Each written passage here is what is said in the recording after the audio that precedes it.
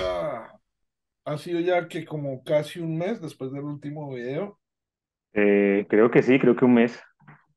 Hemos estado bastante ocupados, no ha sido por falta de ganas. Ah, igual, no importa.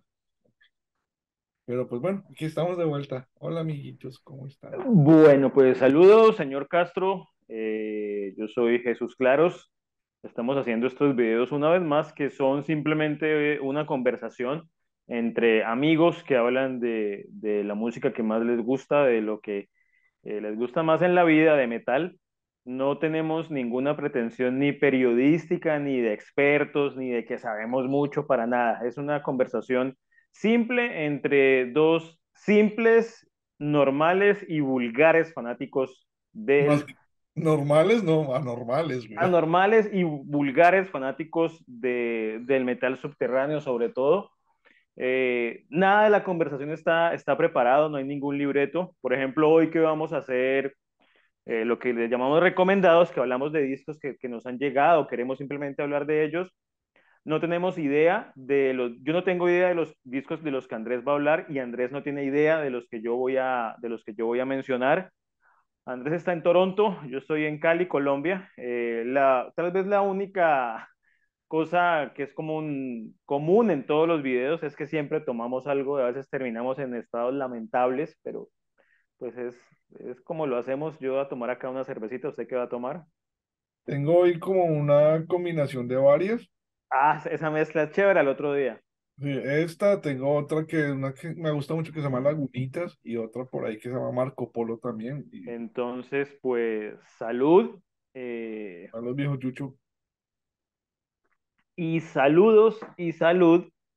Hay, hay gente así, oh, multitudinaria asistencia, eh, pero sobre todo a la gente que ve estos videos tomándose unos tragos. Yo le he pasado algunos pantallazos a Andrés, ahorita Alejandro en Popayán, alguna gente que comenta en los videos, pues agradecerles mmm, y pues unas amables sugerencias que de pronto busquen perder su tiempo en otra cosa. Dos viejos aburridores hablando de discos con una visión a veces retrógrada de las cosas, pero bueno. Sí, consíganse una vida, maricas. Pónganse a trabajar, una mujer, que los, una mujer que los ponga a marchar o algo así.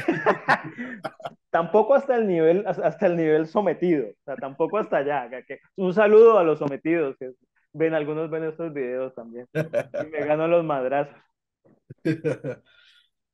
Bueno, entonces vamos a arrancar. ¿Listo para comenzar? Hágale.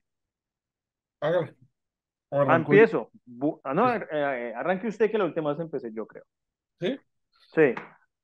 Hoy voy a estar centrado mucho en, Canadá, particularmente en lo que es la costa oeste, que es donde está eh, Vancouver, todo British Columbia. Uh, la razón es por de que hace, hace un tiempo adquirí un par de, bueno, un par, no, unos cuantos trabajos de bandas de, de esa zona, más particularmente de la, de la zona de Victoria, British Columbia.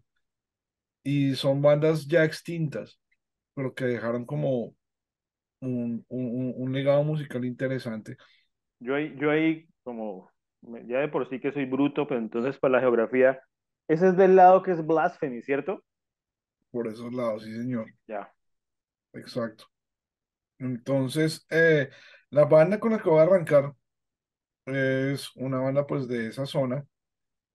Em, tuvieron un, una vía muy corta, realmente no quedó nada de ellos grabado en estudio, pero salieron dos conciertos, eh, uno en el 87 y otro en el 89 y de los cuales extrajeron un par de temas para un 7 pulgadas. La banda se llama Arkfiend. Y este 7 pulgadas se llama Modified with Hate. Mm. Lo que me parece interesante es que eh, si usted conoce de pronto, eh, o si los que están viendo conocen un poco lo que ha sucedido con, con la escena canadiense en sus comienzos con la música extrema, esa zona de British Columbia fue muy, muy prolífica y produjo muchas bandas muy interesantes, así como lo fue Ontario en su momento también con bandas como Slaughter, Exciter, Razor, etcétera. Pero en ese lado, incluso Infernal Majesty, que nació aquí también, pero ahora están radicados en esa, en esa área. Uh, pero también hubo bandas muy interesantes de esa época, como Witch's Hammer, que siguen vigentes. Y, y pues bueno, esto es como una exploración dentro de esos sonidos que crearon esa música que se hacía en, en ese lado de, de Canadá, que de pronto a mi parecer me parecía que era eh, incluso un poco más extrema o, y más cruda de lo que se estaba elaborando en Toronto y en y pues en Ontario en general. Arkfield eh, me llama la atención e, esta grabación porque eh, es una forma como de visitar la historia, ¿no? Es una forma de, escuchar qué estaba sucediendo. Estamos hablando de mediados de 80 a finales de 80 y es una banda que presenta un estilo muy trash, muy crudo. Eh, obviamente como es en vivo, pues suena con toda la crudeza de una, de una presentación en vivo. Eh, una influencia muy fuerte de Creator eh, en, sus comienzos. Y pues me, me, parece, me parece un EP que, que, es muy interesante por ese, por, por ese lado, ¿no? Porque le ayuda a usted como de pronto a entender de dónde salieron porque fueron los que cementaron de pronto las bases para que naciera después un Blasphemy, ¿no? Entonces, es entender de dónde viene eso, porque eh, Blasphemy no nació por coincidencia. Nací, Blasphemy es un producto de una escena que se estaba gestando que era más brutal que el resto de Canadá, nada que hacer.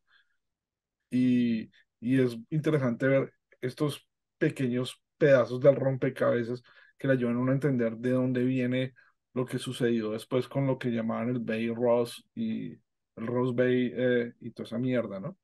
Entonces, claro, y, y, y, cómo, pues sí, son, son, es Canadá, que es un país inmenso, pero de, a fin de cuentas, como todos los países, y sobre todo los que son grandes, un país de regiones, con, con diferentes idiosincrasias, formas de, y pues formas de hacer música. Entonces, Marica, si Colombia vez... que es un pedacito de tierra así, y tiene regiones que cada una puede definirse como un país diferente, con un metal diferente. Ahora imagínense un país como Canadá, ¿no? Que es no sé cuántas veces más grande que. No, por favor. mucho más grande. Entonces, pues. Alguna vez eh, Marco, el de Witches, de Witches Hammer, que tocó en, en, en Blasphemy, es el. Uh -huh. eh, se me va ahorita el apodo. Bueno. Eh, Sodomizer of Goddess of Perversity. me decía que yo alguna vez le pregunté al respecto y me decía que en parte también era una respuesta a lo que pasaba en la otra costa. Uh -huh. porque, porque gran parte, por ejemplo, de, de Voivod y de, y de esa generación venían era del, del otro lado, como más del, del, de allá del lado de, de... Algo interesante de lo que usted está mencionando es, por ejemplo, las bandas que estaban surgiendo en este lado de, Canadá, se notaba que tenían como un deseo más como de, de grandes ligas, de rockstars, ¿no? Y en cierto modo muchos de ellos lograron, a, lograron como probar un poco de ese pastel, ¿no? Las bandas que estoy viendo que, que, que, que estaban eh, en la escena de ese lado eran como la antítesis de eso, era como un fuck you a todo eso. En, en todo sentido. Sí, como que nuestro metal es más real que el de ustedes, nosotros no queremos ser rockstars como ustedes y, y fuck you, vamos a ser más sucios, más cochinos y vamos a tener influencias mucho más pesadas que ustedes y vamos a tratar de hacer música mucho más violenta de la de ustedes. Entonces es como un contraste interesante, ¿no? Eh, es un, simplemente una apreciación, no es una verdad. Sí, son opiniones, repito, de dos tipos. Es la forma que, no, que yo lo veo, ¿no? Que no tienen más trascendencia ya. O sea, sí, no, pero. Diga, o sea, interesante esa, esa banda, ¿no? Sí, es como yo lo veo, pero no lo tomen como hecho. O sea, hagan su investigación y saquen sus propias conclusiones, ¿no? Tal cual. Le toca Chuchín. Bueno, vamos, voy a hablar de, de un fanzine, de una publicación impresa. Aquí hablamos mucho de fanzines, a mí me, me encantan. Eh, este es el regreso de un fanzine chileno que se llama Hell Trashing. Entonces, eh, es su regreso. Yo ahora les cuento un poquito como de la historia que hay atrás. A mi entrada, eh, acá donde empieza, donde está el logo de, de Harold Trashing, eh, el único fanzine que no desperdicia espacio en una portada. Y desde la, primer, la primera página ya empieza con una entrevista con Fingernails, que es una antigua banda italiana bastante uh -huh. interesante. Eh, y el, lo otro de, de, que a mí me encanta de Hell Trashing, además de que está muy bien escrita, el diseño tiene una cantidad de, de, de collage y de cosas así, de, pero de detalle, no es el collage hecho, el collage hecho que porque pongamos pedazos de cosas, sino que tiene una cantidad de detalles. Está muy bien escrito y, y no son las mismas bandas de siempre o cuando los fanzines toman como una tendencia, un estilo, según la época, que creo que es normal, eh, pero eh, el, editor de, el editor de Hell Trashing es un veterano de, de la escena del, del, sur de Chile, de, de, Valdivia, que está al sur, y, tiene unos gustos bien particulares y pues orienta el fanzine a eso. En algún momento, hace años, eh, había un fanzine que se llamaba Curabilú o Curabilú. Hay un sello que se llama así y de ahí viene Hell Trashing. Cuando Curabilú como fanzine se detiene, Hell Trashing empieza a hacer una newsletter, eran pocas páginas, pero se terminó convirtiendo en, en este fanzine. Son unas 60 páginas. Eh, entonces inicia con, con Fingernails, Aores Kingdom, de la que soy muy, muy fanático y, y, está aquí. Eh, por ejemplo, hay, hay, bandas, yo esta no tenía ni idea que existía, PNS, PMS. Ni idea. Es una banda, de, yo tampoco tenía ni idea. Es una banda como de punk y metal del área de Nueva York de mujeres de hace muchos años. ¿Sabes lo que significa PMS? Mm, no. Es las siglas en inglés para síndrome pre, eh, postmenstrual. Ah, premenstrual, ah, una mierda, sí, sí, sí, sí. sí. Bueno, está Black Oat, que es una banda que me encanta, de Doom, italianos también. Eh, Cauchemar o Cauquemar, los canadienses. Acá de Canadá, la banda de Anik. De Anik, y que tiene un sello también. Una sí, entrevista bien Temple interesante. of Mystery Records. Eh, Baphomet, que es una banda que yo descubrí recientemente, que es un chileno con unos japoneses, están en Japón, y que me, me encantó que a un estilo que está un poco ya traqueado, se le siente algo ahí como sin inventar nada, pero se le siente algo interesante. Eh, Occult Burial, Suicide Club, entonces como muy orientada a un metal muy, muy, muy crudo, salvaje, callejero. Hay un especial muy con... variado, ¿no? Sí, bastante, con Yori Vaughn de, de Misfits. Entonces, eh, Thermonuclear Devastation, Incinerator, que es otra banda antigua italiana, reseñas, eh, tiene por ejemplo acá lo que yo le decía de algunos collages o recortes, creo que ahí se alcanza a leer. Sí. Como que es un desorden, es un caos sí, y, coordinado, y planeado. Dead, dead, to Hippies. Sí, me Entonces, encanta eso. tiene es, esas cosas eh, que le dan una personalidad bastante, bastante interesante. Tiene también ahí su lado a veces, eh, por ejemplo, con personajes de la, de la política, la sociedad mundial y chilena. Epitaph Sackless de los italianos, una entrevista con Pentacle que como siempre son interesantes de leer y, y extensas. Eh, Nimrod, que es una antigua banda chilena, Excelente banda. De hecho, eh, me gusta mucho ese disco donde grabaron con el vocalista de, de, de Antesco, que ya murió, con Enrico.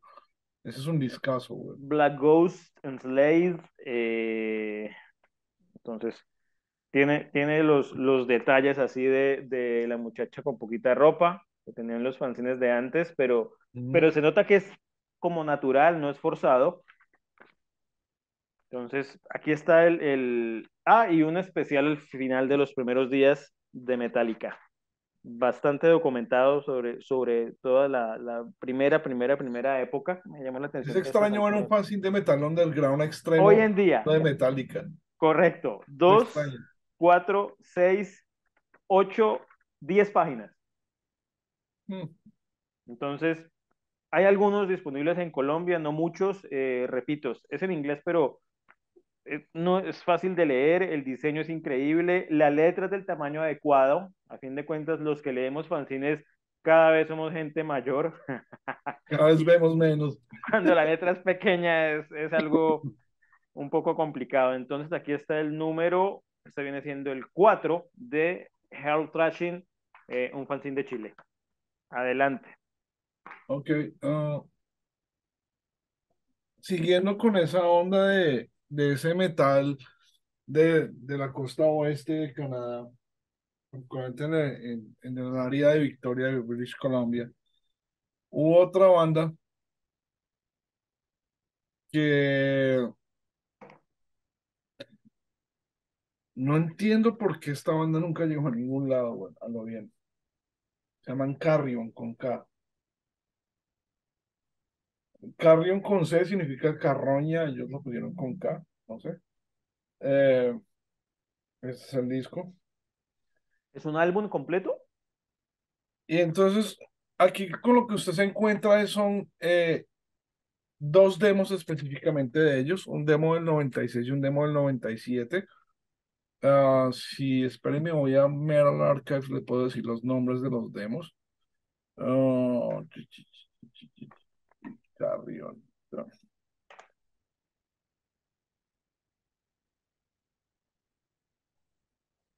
El demo del 86, perdón, se llama Carrion y el del 87 se llama Free in Death. O, yeah, Free in Death.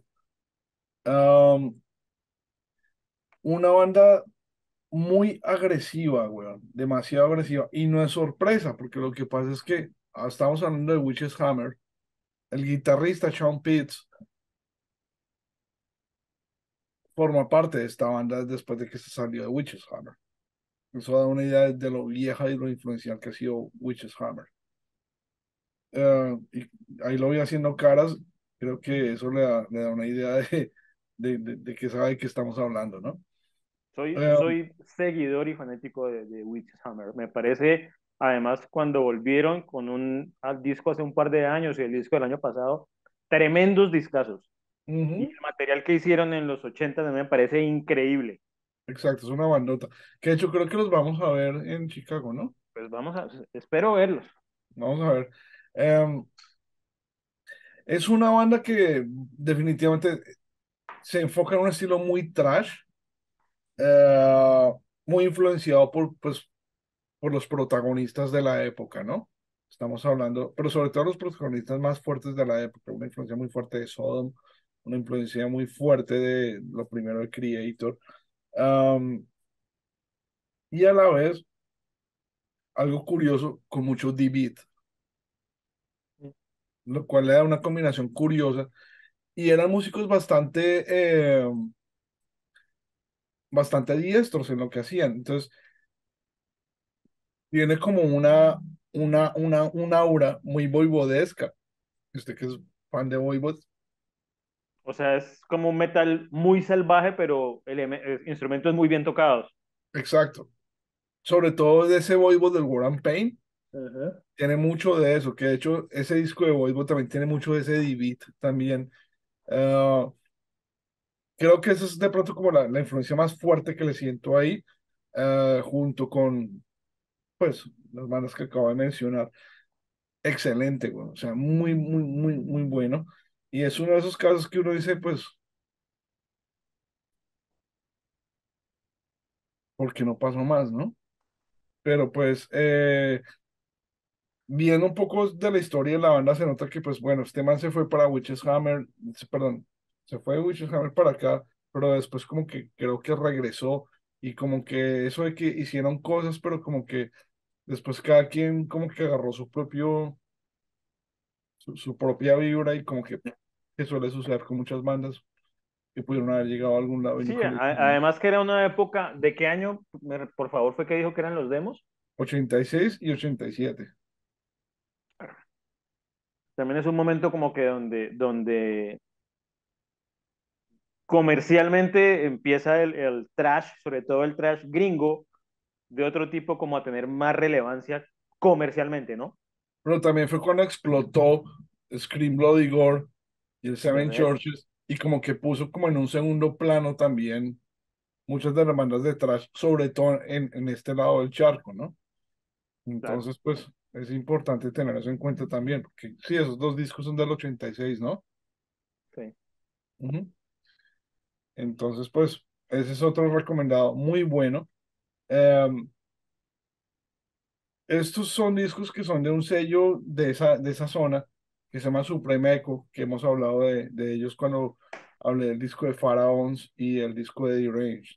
Es el mismo sello y el, y el tipo como que se está encargando como de recuperar cosas perdidas de esa época, de ese, de ese, de, de, de esa, de esa zona también. Y pues creo que ha sido acertado porque definitivamente es una calidad que creo que eh, sobrevive el paso del tiempo. No solamente escuchar cosas por nostalgia que, uy, esto fue muy bueno en esa época, ¿no? Sino que incluso escuchándolo hoy día, uno dice, oiga, raro que no haya pasado algo con esta banda, ¿no? total, totalmente. Pues bueno. Entonces, eh, otra cosa que trataré de conseguir, eh, no me dejan progresar ni ahorrar. Bienvenido a mi mundo, güey. Bueno, vamos a hablar de, de una banda, de un demo. Eh, la banda se llama Glasnik Smrti. Mm, Si alguien, si alguien eh, habla serbio, pues me disculpará porque el mío es, como se dieron cuenta, muy malo. Eh, es una banda serbia. Eh, este es el demo número uno. Realmente, eh, Glasnik Smrti se llama uno de los álbumes de Bombarder, que es una antigua banda yugoslava, porque en ese momento no era Serbia, sino que existía Yugoslavia, que, es, que hace un thrash metal increíble y sobre todo bastante, bastante único a mi forma de ver las cosas.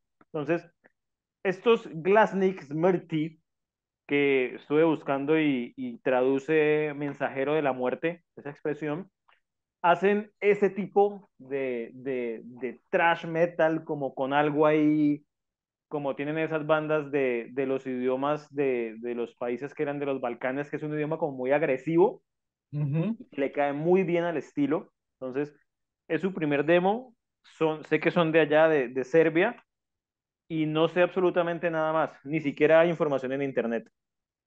ok. Entonces, el demo es hecho, está bastante bien profesional, el sonido súper bien grabado, la grabación es súper buena. Lo editó un sello alemán que se llama Life Eternal, eh, Eternal Productions, que me llama mucho la atención el tipo de banda que está editando. Ha hecho, ha hecho ediciones eh, de muy buena calidad, bandas como muy únicas, como, como de pronto que uno dice raras. Y esto pues es eso, ¿no? Es ese, ese trash con, con eh, de pronto como, como muy oscuro, pero al mismo tiempo muy crudo, muy directo, y incluyen, eh, son cuatro canciones, tres de ellos y un cover de Ruth. Ok. Una, entonces ahí como que se va, uno va entendiendo para dónde va la cosa. Le iba a hacer una Eh, pregunta, pero apenas me dijo eso, ya quedó descartada. ¿qué me iba, qué me iba a preguntar? No, le preguntaba si iba por otro lado, pero no, ya definitivamente no. Ya me Sí, tiene, tiene también esa parte. Yo creo que su, que su porque cuando usted influencia, empezó a escribir, me hizo pensar en Mekong Delta por alguna razón. no, no, no, no, no, no, no. Eh, Eso es, es otra cosa, está mucho más inclinada a, a ese sonido, como le decía, más, más áspero, más crudo, como muy especial de lo que era ese thrash metal, del que se sabe muy poco, se conoce Bombardier y otro par de bandas, pero pues no se conoce nada, pero hubo más bandas, ¿no? Esta igual es una banda nueva, no, no sé quiénes tocarán, no sé si haya alguien de, de, de, de antes, eh, Bo- o sea, Bombarder, incluso hubo, hubo un integrante o dos que, que cayeron en la guerra, ¿no? En la guerra de los Balcanes cuando se, se despedaza. Yugoslavia. Uno, creo, bueno. Entonces, eh, aquí está, eh, de esas bandas que eh, pues no van a encontrar en internet, pero cuando puedan lo, le, le- le- le- pegan una, de alguna manera una escucha. Yo creo que tengo todavía otro, entonces se llaman Glasnik Smrti. Bueno, el otro me lo guarda a mí, weón. Ah, bueno, ya, entonces ya Ya, no hay. ya no hay. Baila, atacó burro. Ah, Es interesante ahora que usted menciona a Bombarder, porque Bombarder tiene una personalidad muy interesante, ¿no? Sí, El simple hecho de que, de que hicieran el, usaran el idioma, su idioma na- nativo, natal, ya es, ya es interesante. Sí, pero la música de Bombarder yo la encuentro bastante única también, ¿no? Claro. Es, es como una amalgamación de muchas cosas que suenan mucho, pero nada. Eh, Yo, yo creo que en parte, no sé si, si estaban como medio, puede pasar con la, con, que tengan eso en común con las bandas antiguas de Sudamérica, que el hecho de estar un poquito como medio aislados en, en cuanto a influencias, en cuanto a, a medios, a recursos, haya generado eso. ujú, sí, es probable.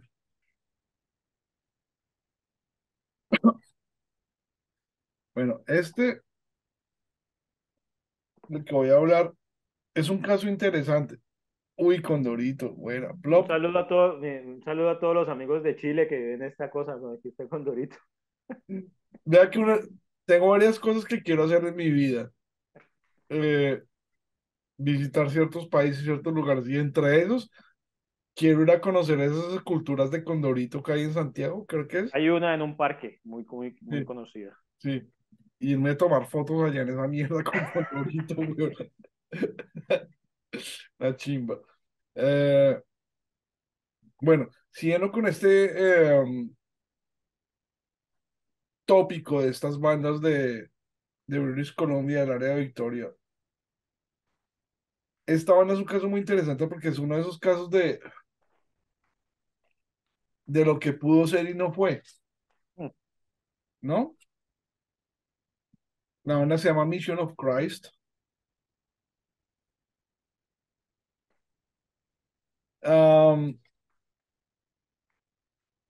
Y cuando me refiero a lo de que algo de lo que pudo ser y no fue, es que fue chistoso que estos manes, Metal Blade les ofreció un contrato. Ay, Iban a salir con Metal Blade. Y por alguna razón, ese puto disco nunca salió, nunca se grabó, nunca se hizo nada. Y el contrato se quedó ahí. Y no pasó nada con esta banda.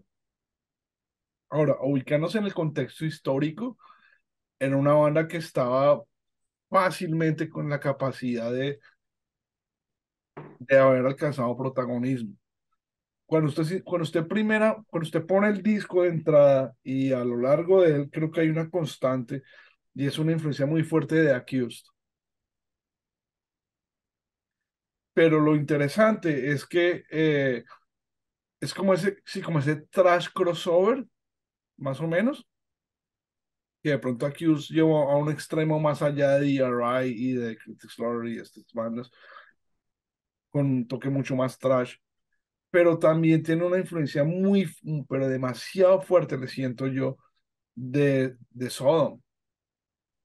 Eh, y curiosamente las canciones de Sodom que se me vienen a la cabeza cuando estoy escuchando fragmentos de esto son todas del Persecution Mania. Me viene Bomb and Hagel, viene Price Passion y, y Nuclear Winter a la cabeza.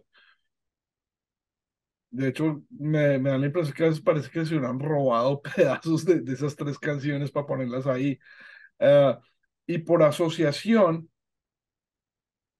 ese disco de Sodom tiene una influencia muy fuerte de Motorhead y estos manes lo tienen también en muchos pedazos.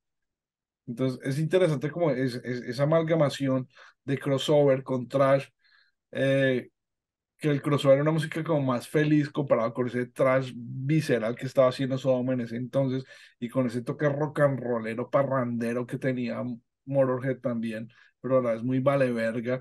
Entonces es, es, es es una eh, es una amalgamación muy interesante de influencias que dan como resultado una banda muy rica, muy deliciosa de escuchar y que pues uno se dice, pues puta, ¿qué pasó con estos manes? Porque pues eh, Pero eso, eso es, son demos, es un álbum. esto es un álbum que entonces tiene demos de ellos del 1997 hasta 1999. Perdón, 1987 hasta 1989. Y lo curioso es que en esta edición que tengo yo, esto no salió en todas las ediciones, viene un, viene un flexi. Y este flexi lo que trae son los demos de ellos traen un demo de ellos de, 1990, de 1986. Ya. Eh, Ah, que hace rato no que, veía un flexi. yo sé que a usted le encantan los flexis, Sí. ahí está. Ah, lo curioso es que el flexi muestra una banda mucho más cruda, una banda mucho más, más agresiva, mucho más rabona de lo que está ahí. Am, la forma en que yo percibo eh, eh, es curioso porque lo que usted escucha en este, split, en este, en este, en este flexi es muy diferente a lo que usted escucha en, en, en el vinilo. Y es, haga de cuenta, una versión muy trachera de Venom. Es como si usted cogiera a Venom, weón, y los pusiera a, a tocar trash, weón. Ya es, es muy bacano, muy delicioso de escuchar, muy interesante. Curiosamente, eh, estaba leyendo pues de muchos periodistas, ¿no? Diciendo que, que, el, que este 7 pulgadas era más como relleno y más como, como un documento histórico, pero algo que no valía la pena escuchar frecuentemente. A mí me parece que lo que más yo preferiría escuchar es esto. Es el 7.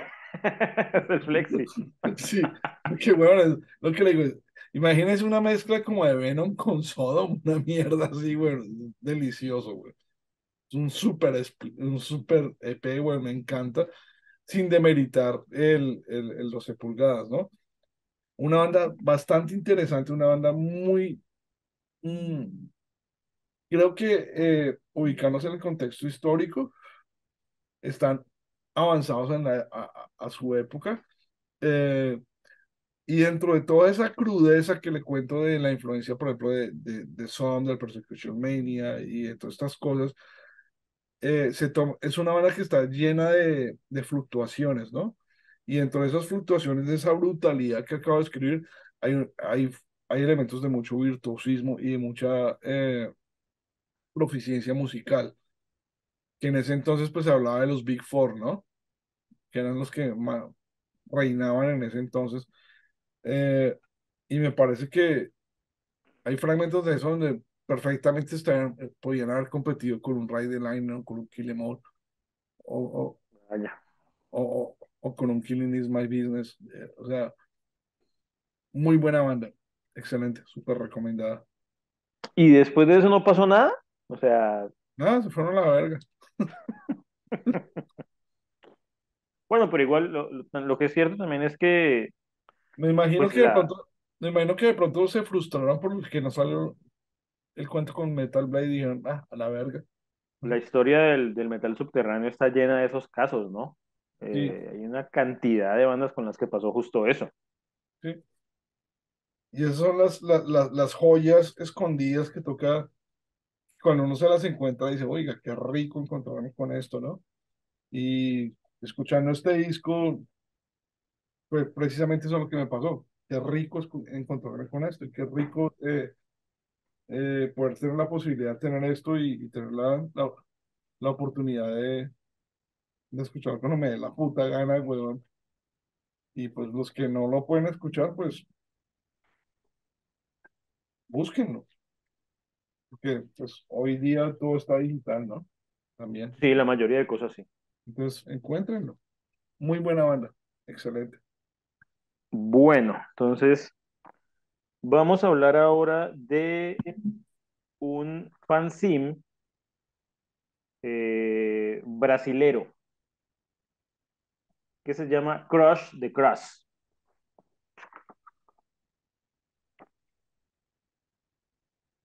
Mm, Nos enviaron dos números, entonces de entrada me, me- me sorprendió que eh, sigue, si- o sea, es, eh, son, son fotocopias, no, no está impreso profesionalmente, pero es, muy buena. Eh, uno es del año 2019, otro es del año 2022. Y estos son los números 7 y 9. ¿Qué? No, no, no estoy mal. Son los números eh, 17 y 19. Ok. No, no, no, me- no, no, no, no, a ver. Ese es el año. el borracho soy yo, weón. No, no, no, no, no. Números 12 y números 12 más 1. Aquí las tengo. Entonces, eh, de entrada me llamó la atención que cuando lo estaba viendo por segunda vez, hay, hay una sección que se llama frases. Entonces yo me iba a empezar a burlar, ay, frases de gente toda intelectual, cuando veo por acá una frase de un tal Jesús Claros de Belso Faquerón. yo, me, yo me iba a empezar a burlar de, ay, frases, frases de unos borrachos, pero bueno, ya, el, contenido, me, se le fue el audio. Yo no lo escucho. ¿Cuál es su frase? Mm, Mi frase es, eh, los fanzines son raros actualmente para el mismo tipo de personas que creían que eran raros hace 20 años. Eh, no sé, debe ser, debe estar en alguna entrevista, algo así, no tengo idea. Entonces, puta. Chucho Schopenhauer, hijo de puta. no, yo replanteé mi vida después de todo eso. O sea, el, el, el diseño es bastante sencillo, generalmente a tres, a tres columnas. Eh, la letra está, está legible. Entonces está Demonic Hate, Psicorragia, la banda de Doom peruana, que es una banda increíble. Reseñas bastante, bastante completas. Y una cosa de las reseñas, yo que soy un, un detractor, porque la verdad es, de puro, de envidioso, porque soy muy malo para escribir reseñas. Entonces, las reseñas de ese fanzine tienen una cosa única y es que algunas reseñas, las que el editor encontró muy interesantes, se tomó el trabajo, contactó a la banda y les hizo un par de preguntas. Entonces viene la reseña, hablando del disco, y un par de, una pregunta mínimo que complementa mucho más todo lo que el disco significa. Oye, eso está bacano, weón. Sí, es una idea que me va a robar. Eh, Sí, eh, son las ideas que vale la pena robarse, sí. Witchcraft, los finlandeses, la banda de, de Black Death, que es bien extrema. Eh, reseñas de fanzines, muy dedicado el, el, el amigo, el editor a, a, a, la, a, las publicaciones impresas. Un reporte bien completo de un show de King Diamond en, 2010, en 2017. Eh, esto es Greywards, los griegos, más reseñas, Forgotten Path, el fanzine, entonces eh, contactos, Demonician Legion, entonces este primer, el, el, bueno, de los dos, el que es más antiguo, el primer número, creo que es bastante, mmm, es un fanzine pequeño que se lee rápido, pero muy, muy completo y muy interesante. El otro número trae más páginas, eh, entonces aquí empieza con los franceses Gorgon, que me he dado cuenta que el, que el tipo de Gorgon se tomó el trabajo de contactar muchos fanzines impresos para uh -huh. promover su banda con, esa, con, con fanzines impresos más que, a fin de cuentas, yo le veo todo el sentido porque ahora que, que está con, con Osmos, Osmos lo hace con estos webcines y todo esto que se mueve más para un mercado y el, el tipo de la banda se dedicó fue a, a contactar fanzines impresos. Sártegos, la banda española, reseñas. Esto es una banda que se llama Gallowar, que no tengo ni idea qué hacen. Entonces, esta trae una entrevista, por acá me encontré más reseñas, con, con Maniac de Mayhem, eh, que es una entrevista bien extensa, como de unas casi, die, no, casi no, 10 páginas. Entonces, eh, y hay un, una reseña de Ultra Damage, que fue el libro del fanzine que hacía Maniac. Entonces, ahí complementan con eso. Paréntesis, hablando de Gorgon. ¿Sí? Ah, qué discazo ese. ¿Sí? Ay, ¿ese cuál es? mm.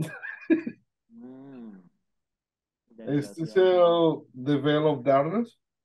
Hay que, hay un, de esas cosas que uno, después del tiempo, uno dice, tengo que volver a escuchar el primer álbum de, de, de Gorgon. Sí. De hecho, Gorgon lo conocí por usted, porque usted recomendó precisamente. Eh, Ese, este, el más reciente. Pero sí, y... el, el, el, tipo me mandó el CD que es muy bueno. Y yo quedé loco, weón. Qué bandota, weón. Sanctifying Ritual. Y bueno, eso es puro, puro metal subterráneo. hay una devoción de una manera muy marcada, pero muy sutil y como muy elegante por, por Merciful Fate. Se nota. Entonces, eh, Don't break the está. oath. Don't break the oath. Exacto. Eh, el, dos números del fanzine brasileño Crush, de Crush, que me ha encantado, además que está también muy bien escrito. Se nota que ¿Qué es una tal? persona que, Que me imagino que está en inglés, ¿no? sí, es, es en inglés. ¿Y qué tal? Y, y está en, es, es buen inglés, lo, lo escribe muy bien. Porque esas son las cosas que a veces como que me, me cuesta trabajo cuando estoy leyendo, cuando el inglés es como, como, no, no tan bueno, cuesta trabajo leerlo, ¿no? No, este, este está, está, está muy bien. Eh, entonces, bueno, aquí hay muy buen fanzine, el fanzine brasileño Crush de Crush. Re bien. Siguiendo con Canadá, pero Canadá, pues. Pero esta vez no con bandas extintas, sino con bandas Ah, actuales. Esta es una banda que me sorprendió de una forma que usted no se imagina. Ok, estaba marcando esto y de repente se fue la luz porque, eh, para los que no saben, pues yo vivo por allá bien arriba donde cae mucha nieve y hacen tormentas horrendas de nieve. Y esta es una de, esas noches donde tenemos tormenta de nieve. Marica, pero en todo lo que yo viviendo en Canadá es la primera vez que veo tormenta de nieve con relámpagos. Entonces, la ventaja de vivir en esos países es que hay eh, en cierta época del año excusas cuando uno no paga el recibo y se va la luz. no, aquí no hay excusa para eso, la cobran. No, pero en serio, es la primera vez que veo tormenta de nieve con, con relámpagos. Y pues bueno, se fue la mundo. luz, se fue la luz, se paró la conversación, y etcétera, Es el etcétera. fin del mundo. Hoy, justo hoy. Supuestamente es que vamos a tener 40 30 centímetros de nieve. Mierda. Entonces, todo pues muy coqueto, todo muy de la casa, ¿no? Eh, es Estaba hablando de la banda. es como estaba diciendo, de heteros. Banda canadiense, ellos son de Calgary. Ah, Calgary está en la provincia de Alberta. No es exactamente una ciudad famosa por producir bandas dentro del underground.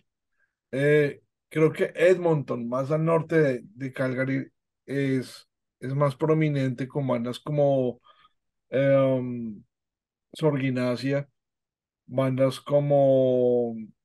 ah, fuck, se me olvidó el nombre ahorita. La banda de Team, el cabrón que toca en Conqueror y ah, Antediluvian. Ya. Bandas como Mitochondrion, que son más de esa onda, ¿no? Más de esa zona, perdón. Esta banda me tiene enamorado. Eh, por una sencilla razón. Yo soy un fanático, pero acérrimo de, de Demolition Hammer. Y esta banda es básicamente una influencia muy brutal de Demolition Hammer. Se llaman Deterus. Um, momento que es que la edición que tengo es una edición que viene en una caja limitada y sacar el disco es un video de un segundo. Bueno, es el primer disco. ¿Cómo es la Es el cosa? segundo. Y el disco se llama Unrelenting Malevolence. Ahí ya sale el nombre del disco. Eh, um, puse un, una especie como de reseña de, de esta banda y en la reseña comentaba algo que eh, la influencia de Demolition Hammer es demasiado fuerte al punto que se puede sentir como una especie de tributo a Demolition Hammer. Eso iba a preguntar. Y es algo que puede ser bueno o malo dependiendo de la perspectiva. Puede ser malo en el sentido de que usted, ah, pero ¿por qué necesitamos una copia de Demolition Hammer? Y lo que sea, pa, pa, pa. Para mí es fabuloso. Porque Demolition es Hammer, que después de, porque Demolition Hammer la cagó, weón, a lo último y no volvieron a sacar nada de valor. Y estos manes retomaron eso, lo retoman con una especie como también de Malevolent Creation del Ten Commandments y un poquito de sepultura por allá de la época del Venice the Remains. Pero pues la constante siempre es, es Demolition Hammer. Entonces no es, no es como un, no es como una copia una copia eh, descarada de Demolition Hammer, no. lo, lo otro es que muy fuerte, pero con otras influencias también, y con una, y con, y con un método de composición y un sonido moderno. ya, yo, yo creo que lo otro es que no hay muchas bandas como en esa vía. O si las hay, no son No. muy conocidas. O sea, a diferencia, por ejemplo, de, del trillón de bandas que de death metal sueco o, o de, o de, en fin, de estilos que se vuelven, que sa- se saturan, que igual saturados se pueden encontrar cosas de calidad, pero ese tipo de, de death metal básico o, o death trash o, o, o trash con más pesadez que hacía Demolition Hammer, Es pues de trash o trash dead, dependiendo de cómo lo mire, pero, pero eh, en resumidas cuentas, eh, si usted es de esos que se, que se paniquea y arma escándalo y forma telenovelas y demás porque esta banda le suena mucho a la otra, eh, olvídelo. Pero si usted es de esos que realmente eh, le va a valer verga porque sencillamente es una bandota y, y me parece que es como el disco de Demolition Hammer que debió haber salido, weón, Ya, ya, ya, ya. después del... Ah, se me olvidó el nombre ahorita.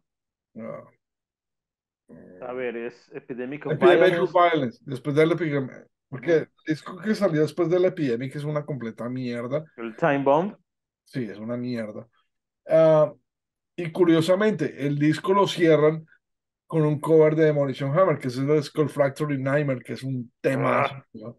Ah, super bandota. Eh,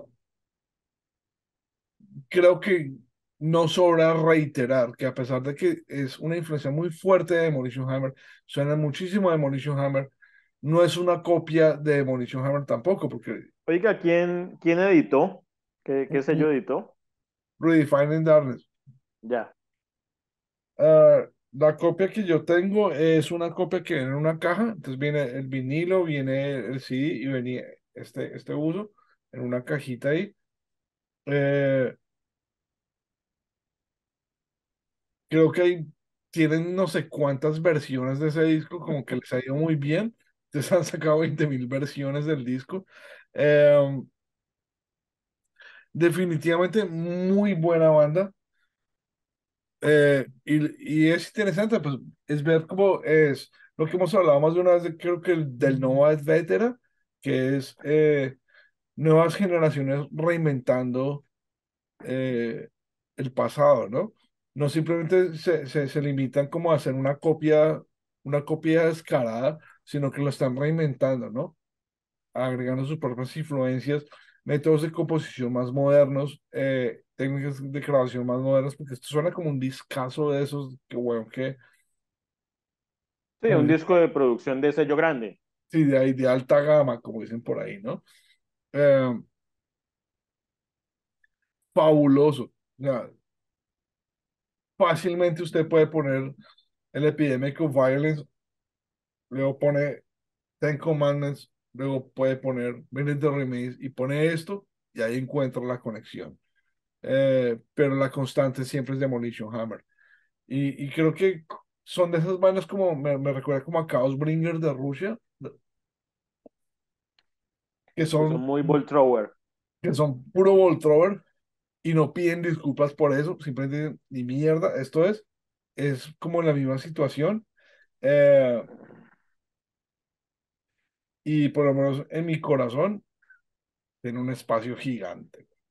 Qué hijo de puta discazo, qué hijo de Y puta. está bonito el buzo. Está lindo, papá. No, en serio, pero es muy buena.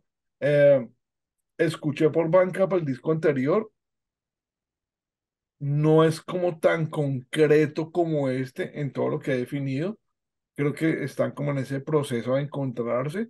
Igual un discazo también, no lo tengo aún, ya lo pedí, pero es una banda bastante interesante, es una banda que, eh, es chistoso, es una banda que se atreve a proponer algo nuevo dentro de algo que ya, que ya está inventado, pero y, y, y no me extrañaría que ahorita comience de pronto una, una, un- una moda de eso, porque creo que Corrosive, Sí, una, que una tendencia. que lo que he hablado de Corrosive también aquí de Toronto, hacen algo muy similar, pero Corrosive no tiene una influencia tan marcada de una onda en particular, pero es una onda que tiene Demolition Hammer, tiene también Malevolent Creation, tiene también Sepultura, eh, un thrash metal muy agresivo Y creo que hay bandas aquí en Canadá que la están coronando, así como bandas en Colombia también y en otros lugares del mundo. Y no me extrañaría que la nueva tendencia, ahora que todo el mundo ya está pasando como el, el guayabo de, de las bandas a lo underground y todo eso, eh, comiencen de pronto esta nueva fase, ¿no? El el guayabo de las bandas a lo, a lo Underground y de las bandas a lo Autopsy. Es como, sí, es básicamente lo mismo. Eh, eh, básicamente lo mismo en términos de que eh, cochino, pantanudo, death metal y pa, bandas como Worm y estas otras. Pero, pero es- me parece que, que es fresco, ¿no? Es porque son este tipo de bandas que le recuerdan a usted.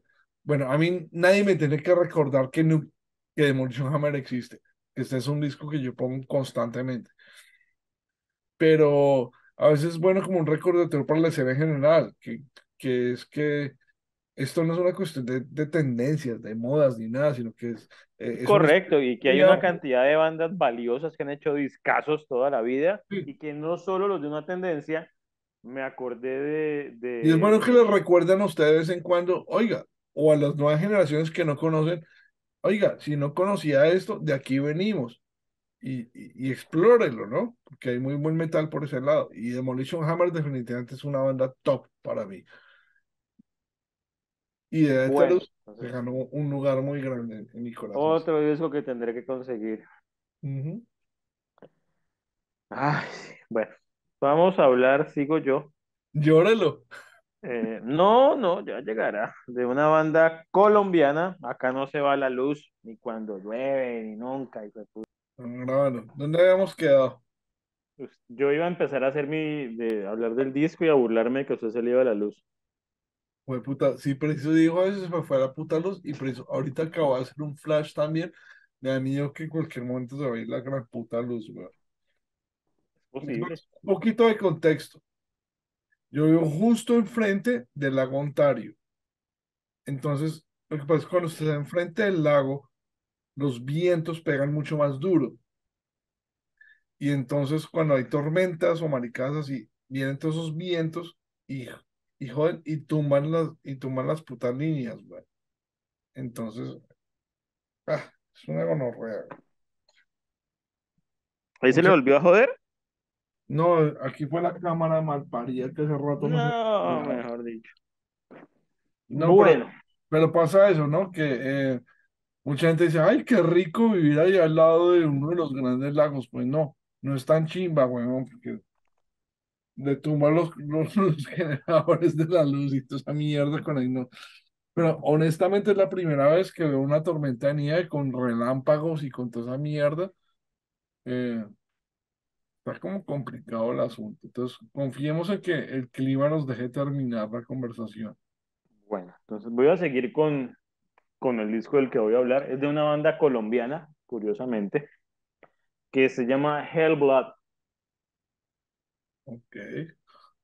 El álbum se llama The Angel of Destruction. Mm, yo había, eh, creo que vi, los vi una vez en vivo y los conocía de un 7P anterior que como que ya indicaba más o menos para dónde iba la cosa, aunque ahora que lo recuerdo tienen un álbum anterior. Me puedo equivocar, como generalmente lo hago.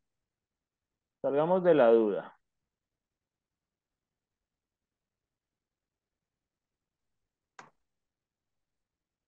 Eh, bueno, de paso es una banda de, de Bogotá. Efectivamente, tienen otro álbum del 2017, pero este que estamos hablando salió en 2022 y es, es un, para mí es un disco de, de speed thrash metal con elementos black metal y con elementos black metal eh, muy escandinavos, suecos sobre todo. Es un disco con, con, un sonido donde se nota una influencia marcada de, de los primeros discos de, de, de los, los suecos. Los suecos, sí.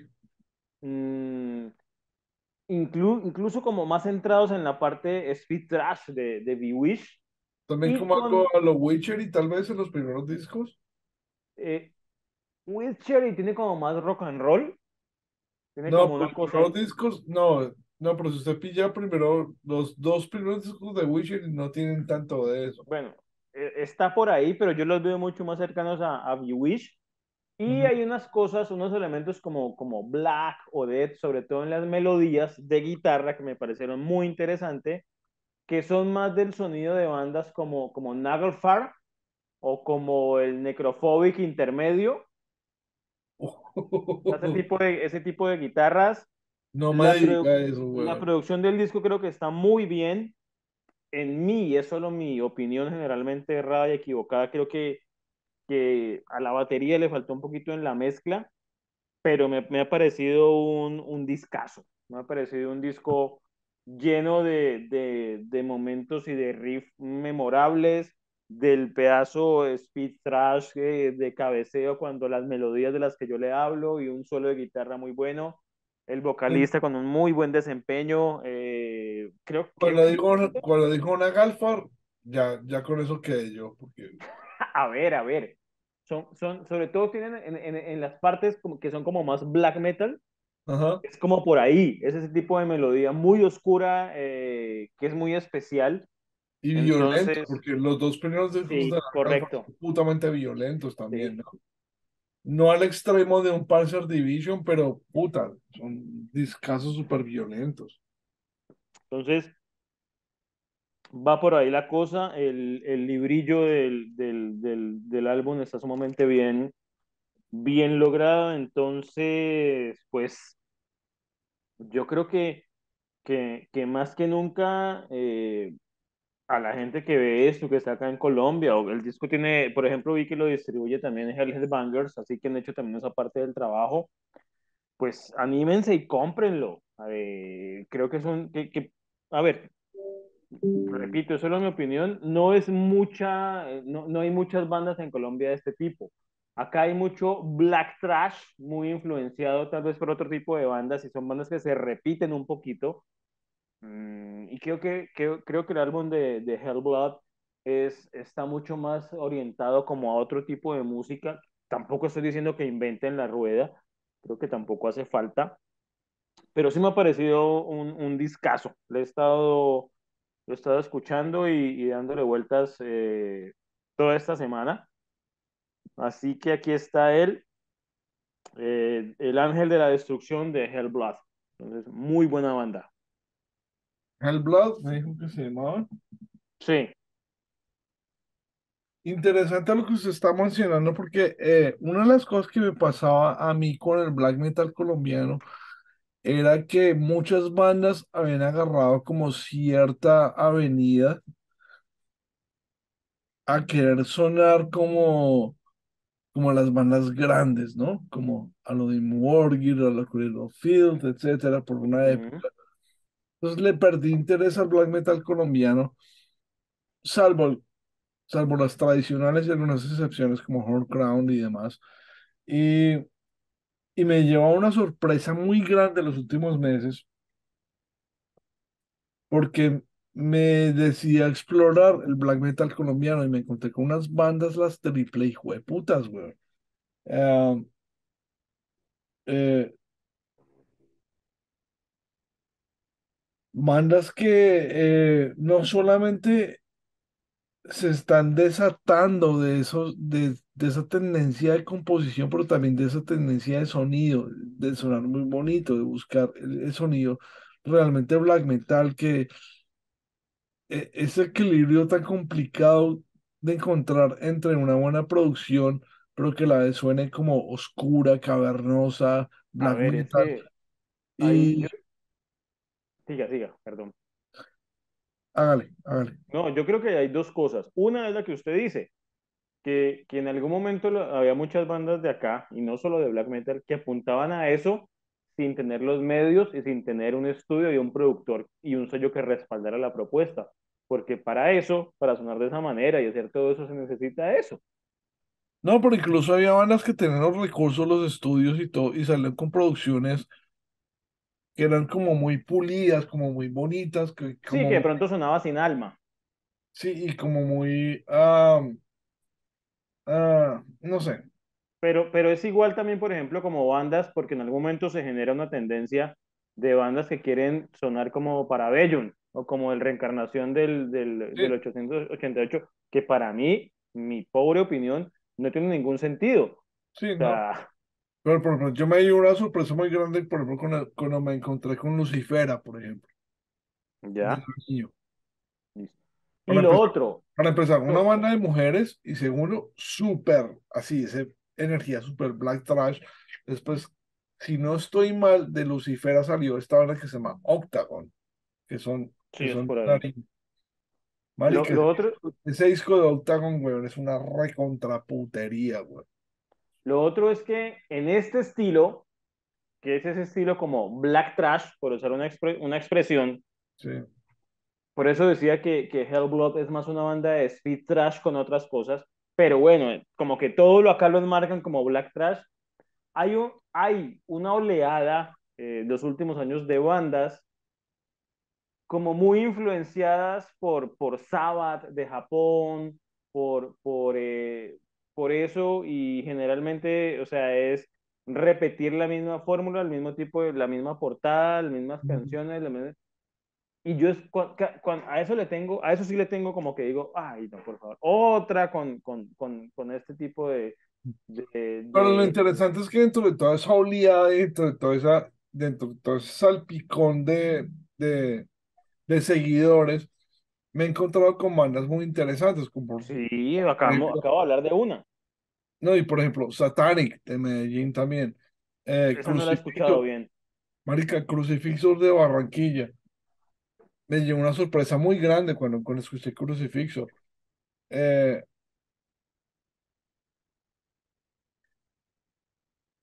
eh, un par de bandas que, que escuché recientemente que no, no recuerdo ahorita los nombres, compré los CDs, pero me los tienen en Bogotá para cuando vaya ahorita.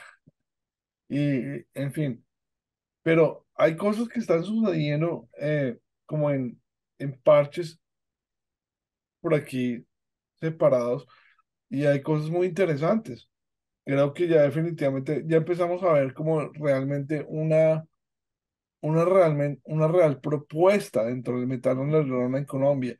Creo que esta revitaliza- revi- revitalización del underground ha llevado a que ciertas personas eh, estén produciendo cosas interesantes, sea por, por moda o por convicción, pero están saliendo cosas interesantes, tanto en términos de fanzines, como en términos de bandas, como en términos de, produ- de producciones, de- yo, etcétera. yo creo que eso sigue siendo una minoría. En el, en el caso, por ejemplo, de, de Hellblood, Definitivamente, y definitivamente. siempre lo será, en el caso de, de Hellblood, es una Pero de, pero, de- pero de algo que yo, en, pero algo que yo en Colombia veía extinto por muchos años.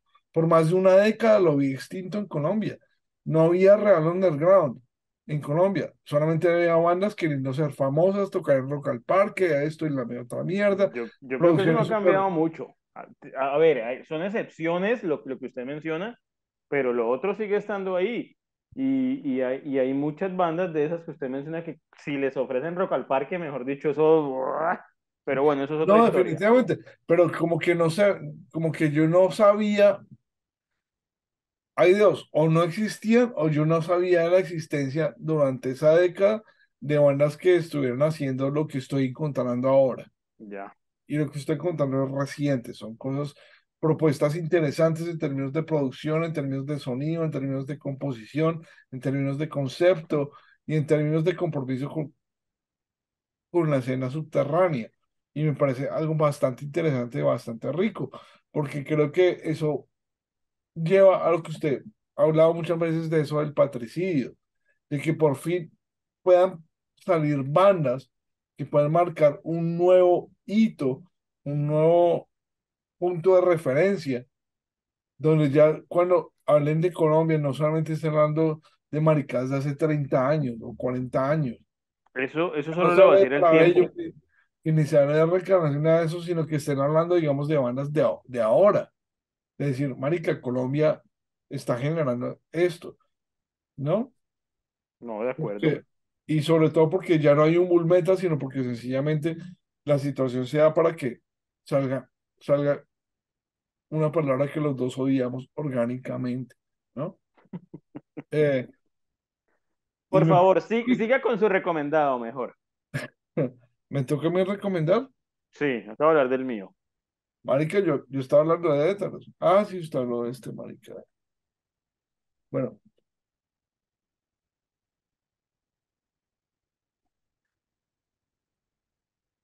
en el 2012 salió este disco, eh, me llegó el promo, quedé loco con esta banda. Por alguna razón nunca tuve el formato físico ni en CD ni en lo que sea y finalmente tuve el LP.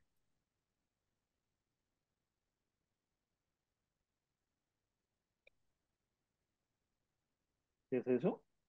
La banda se llama, eh, es una, el nombre creo que está en francés, creo que se pronuncia Rise Nuclear, eh, no estoy seguro, eh, pero se escribe como Rage y Nucleaire, algo así.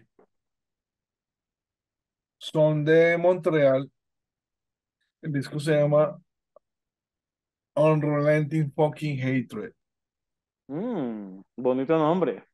Excelente, precioso. Eh, un poco como de, como de, ¿cómo diría? Como de, de contexto dentro de lo que es esta banda. Es, creo que tanto usted como yo y como muchos otros somos fanáticos de vocalistas específicos y uno de ellos creo que en esa lista es este señor que se apoda Lord Worm. Que para los que no saben, pues era el, el vocalista de Cryptopsy cuando Cryptopsy. Valía algo, ¿no? Ujú. Este es un proyecto de Lord Worm. Eh,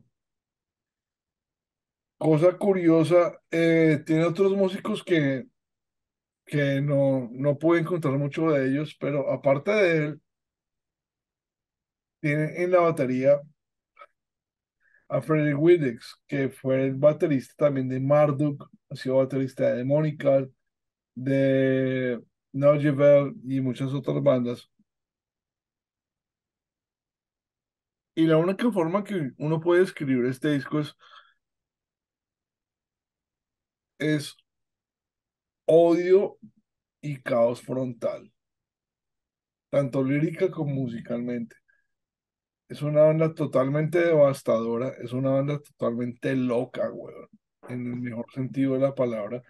Eh, no sé si usted familiarizado con la Lana Track, Me acuerdo cuando los, creo que cuando el primer disco, que era una mierda de esas que uno de pronto no entendía en su momento.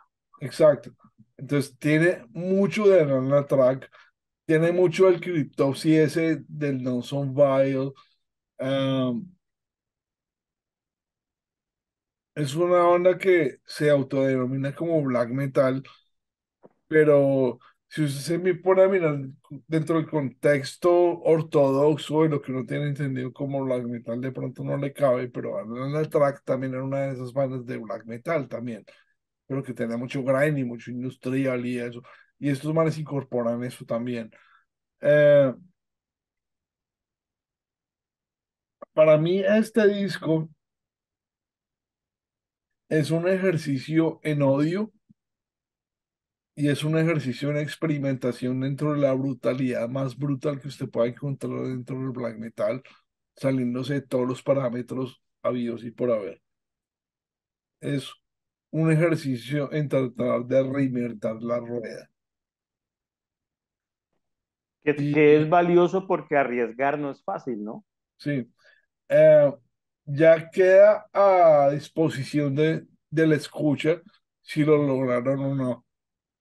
Para mí lo lograron. Es, es, es, es una banda que se cataloga como black metal. La música no es black metal tradicional, es una mierda que tiene cuestiones de grind, tiene cuestiones de, eh, lo que le digo, death metal, ese a lo Cryptopsy, eh, ese, ese intento de black metal que hizo la Nana Track con grind y con industrial y todo eso, todo eso está mezclado ahí. Y es, y me parece que el resultado es, es positivo. Eh, obviamente, cuando usted trata de hacer algo así, pues a veces queda relegado al olvido. Mm, sí, Y no. Es un disco del 2012 y pues no, pasó nada. Sacaron un disco en el 2014 y pues no pasó nada. Eh, pero con la gente que creo que se expuso a esta banda y que realmente le conectó, sí pasó algo. Para mí pasó algo. Es una banda que es muy interesante, es una banda que es muy brutal, es una banda que es demasiado oscura y, y que conecta conmigo en, en muchos niveles, no solamente musical, sino también eh, espiritual y, e intelectual, que leyendo las letras y todo eso es, es para mí es la definición de black metal, güey. Es puro físico frontal odio, tanto lírico como musical, y, pues es un discazo. Entonces, lo único que puedo decir es súper recomendado, me parece un disco el hijo de puta. Escúchenlo, búsquenlo por ahí, donde, donde quieran que lo puedan escuchar y, y saquen sus, pro- sus propias conclusiones. Si les llega bien y si no, pues también. Y creo que por eso la banda decidió acabarse porque también les valió verga. O sea, eh, si les gustó bien y si no, está bien. Y ya. Hicimos lo que Bueno. queríamos. Me parece que era como, uno, que era como una, una especie, los dos discos me- La impresión que me dan fue como un ejercicio en, en, en rascarse como una, una piña, y botar todo el odio aquí en, en esto y ya. y se la rascaron y ya, suerte, y ya, y ahí quedaron. Pero muy brutal, y eso seguro que a usted le va a encantar, güey, Bueno, porque pues también lo que buscaré. son, de esas bandas que son únicas, ¿no? Además, imagínense, Nordworm, baterista de Marduk, bueno, y estos tres huevones, y haciendo un black metal, industrial grind, no sé qué mierdas, es una mierda re loca, weón, pero a la vez, su- lo que más me gusta de este disco es que eh, el puto odio se siente y, y no se siente forzado, es natural, fluye, tanto en la música como en, como en, como en las vocales, entonces, ahí para eso recomendado. Bueno, mm, voy a hablar, vamos a, a, a conversar algo de el disco más reciente que hicieron los alemanes, Office. No los conozco. Es una banda de, de Doom Death.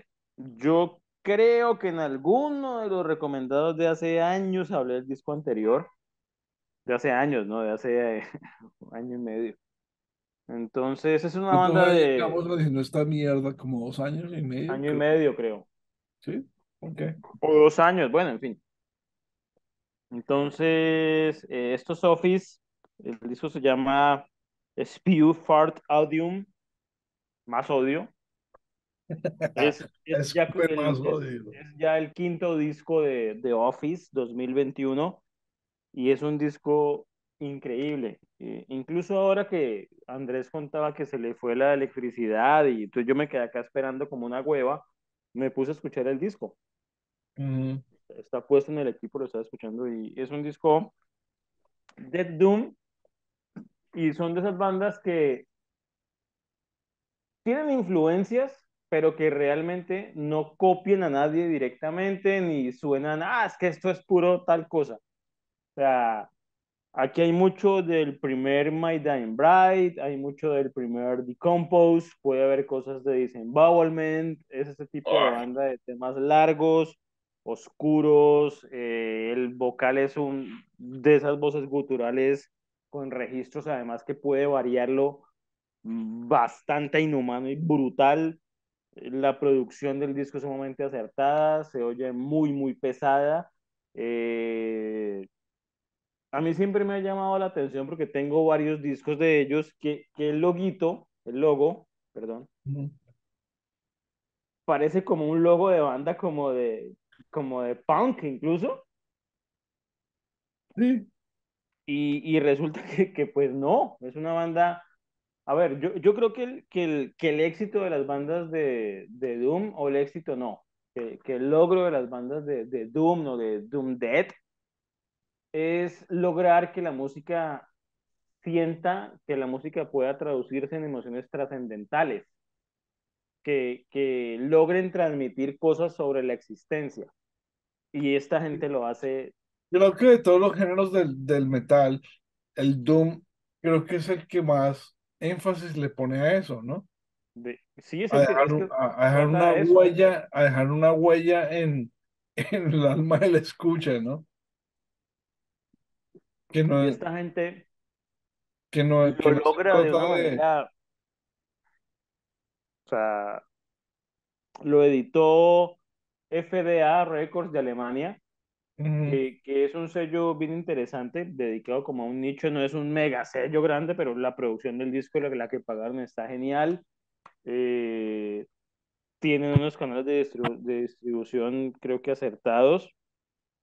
Y es un discazo igual que el anterior. Yo, creo que sí hablé del anterior acá.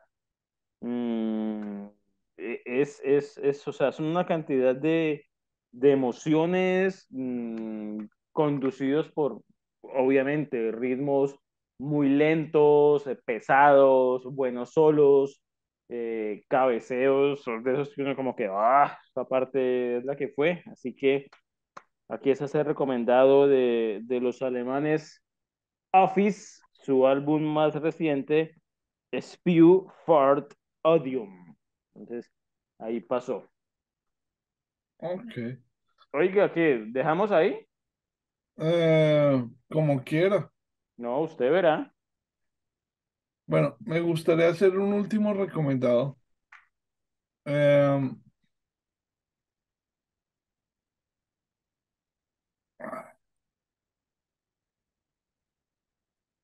Ah, Está, eh, está, está borracho y con sueño usted. sí, estoy borracho. Por Pero de ese, de ese disco me gustaría hablar. Mm, No es nada nuevo en términos de que acabo de salir nada de eso, pero es un disco que cuando salió me encantó. Eh, nunca, nunca lo tuve en físico por veinte mil razones y recientemente lo reeditaron en vinilo y, y me pareció una excelente edición y sobre todo porque me parece un excelente disco.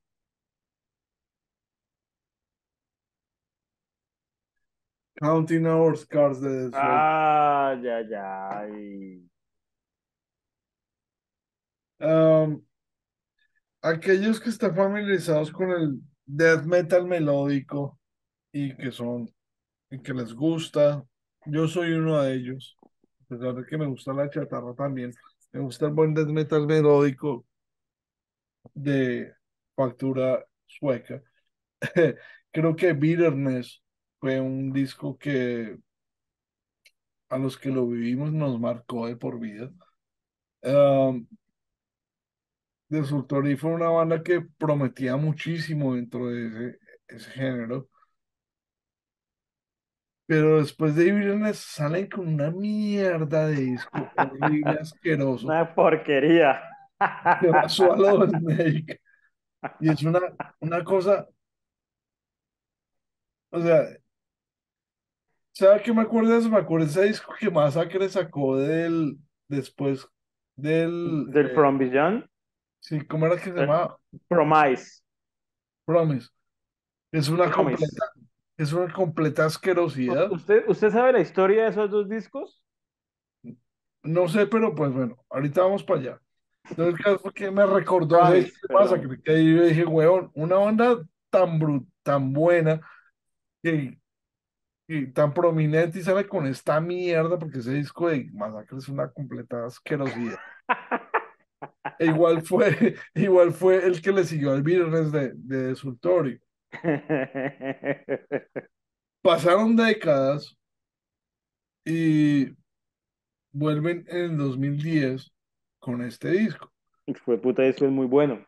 Y recuerdo que eh, estaba hablando con, con Rafael de Hayworks y me dice Rafa, me dice, Marica, acaba de salir nuevo Desultorio, escúchelo, está una chimba. Me mandó, lo, me mandó los audios y yo, uy, qué putería. Pero pues, por X y la razón nunca lo conseguí. Finalmente lo conseguí. Es una reedición en vinilo preciosa y muestra ese Desultori del que uno se enamora, ¿no? Pero traducido a tiempos modernos. Entonces, ¿qué se encuentra uno con este disco? Death metal melódico al mejor estilo sueco y a la mejor factura. Sea, nada que hacer, güey. O sea, mientras todas las bandas que le dieron ese, esa gloria, eh, la gloria al death metal melódico sueco se prostituyeron en querer ser Blink-182 o whatever the fuck Yo, yo, yo ahí tengo dos, tengo dos cosas. eh, eh, estos manes vuelven, volvieron, volvieron con toda, güey. O sea, eh, es un disco fenomenal. Eh, a mí me encantó. Es, no es la típica chatarra que usted yo recomendaba. Es una cuestión No, no, no, es que de Sultur hizo otra banda y para allá voy. es como, es como de alta factura, de mejor producción, de mejor composición, etcétera, como alejado de lo que normalmente Pero, pero, pero es que Pero hijo de puta, es muy buen metal, güey. De siempre fue así, Andrés. Salvo ese disco de mierda.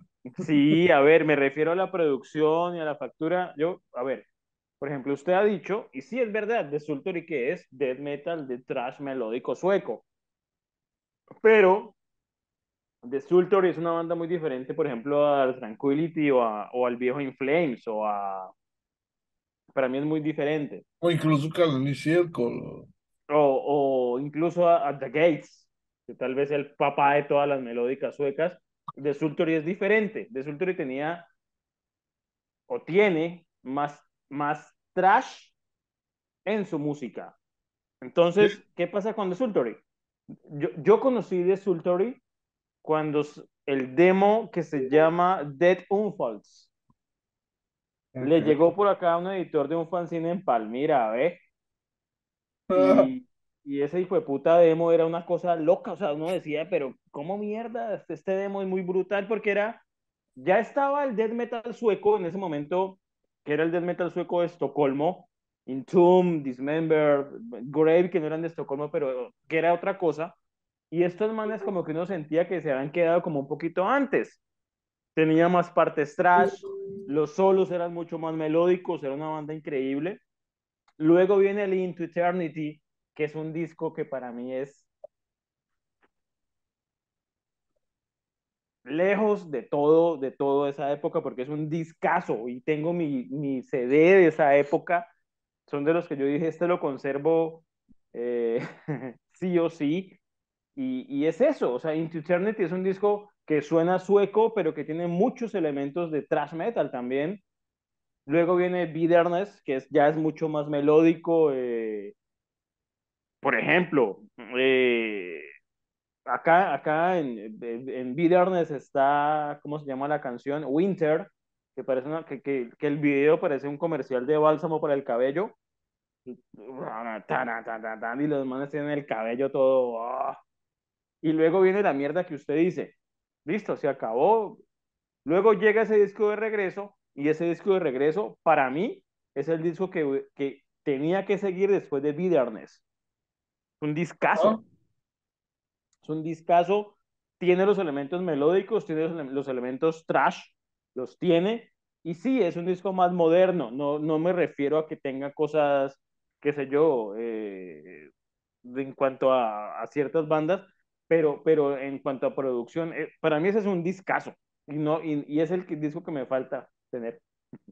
Es una belleza, Juan. Eh, me parece que sobre todo cuando se prostituyó el concepto de, del, death metal melódico sueco. Se prostituyó, suena todo dramático. No, se prostituyó porque eh, no, pues a ver. Se, se, se, creó como un nuevo paradigma de lo que era el death metal melódico, particularmente el sueco, eh, y quedó reducido a, a, una cantidad de bandas que prostituyeron el género. Yo creo que todas esas bandas llegaron Eh, a, un, a un éxito, eh, eh, entre eh, comillas, muy rápido. es, es bueno ver que hay bandas que mantienen, dicen, no, esto es lo que es el metal melódico sueco. A ver, la cagamos con el disco anterior porque volvemos y volvemos con, con furia, ¿no?